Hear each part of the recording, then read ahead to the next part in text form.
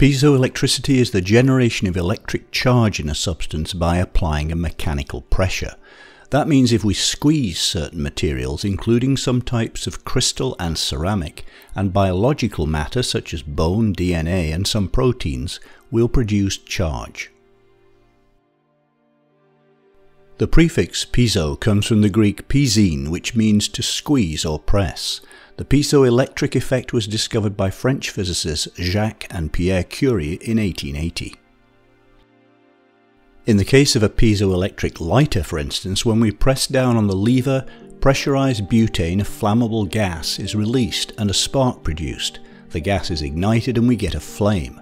But where did the spark come from? There's a piezo crystal under the lever which is squeezed when the lever is pressed down. At a certain pressure, it's enough to create an electric charge which can jump between conductive wires and so cause a spark.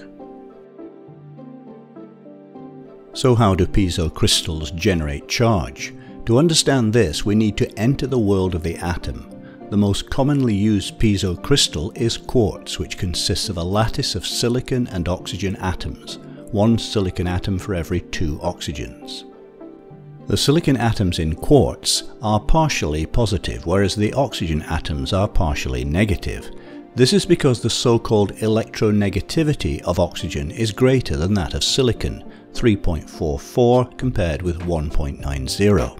This means that the oxygen atoms attract the shared electrons more strongly than do the silicon atoms, so that the shared electrons are closer to the oxygen atoms.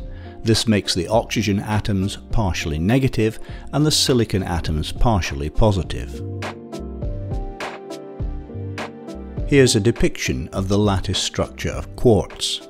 We need to simplify it to understand what happens when the lattice is squeezed. Let's consider this section. Silicon atoms are shown in blue and oxygen atoms in red. If we apply mechanical stress to the lattice like this, the center of negativity moves toward the bottom, whereas the center of positivity moves upward. So positive charge builds up at the top of the crystal and negative charge at the bottom. If we wire up this charged area, we'll produce a flow of electricity.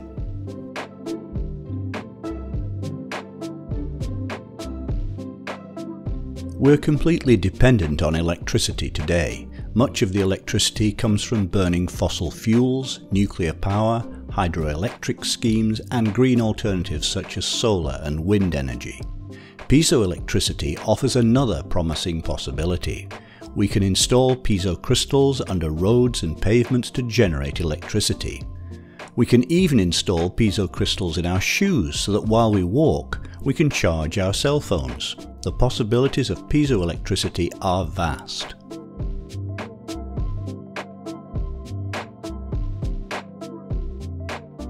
In 1881, inverse piezoelectricity was discovered. This is the opposite effect. By supplying electricity to a piezo crystal, we cause the crystal to change shape slightly, which means we can generate sound waves from piezo crystals. In 1917 came the first practical application of piezoelectricity. It was used as part of a sonar system for detecting submarines. Today, piezoelectricity is used in medical devices, intruder alarms, exercise equipment, computer motherboards, ultrasonic rodent and insect repellents, pin pads, sensors, toys, musical greeting cards, and in many other ways. Piezoelectricity is one of the cleanest of energy sources, producing as it does zero waste or pollution. With our growing population and increasing need for more and greener energy, we can expect this fascinating effect to play a bigger and bigger role in our lives.